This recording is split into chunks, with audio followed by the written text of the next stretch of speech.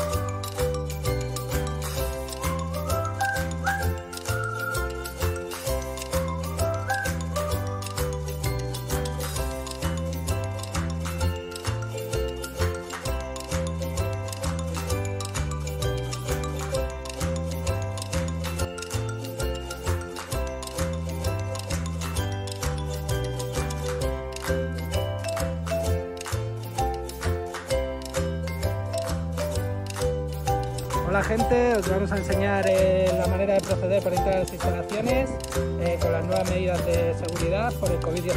Esta sería una manera correcta. ¿Qué tal, Pablo? También vale. También vale.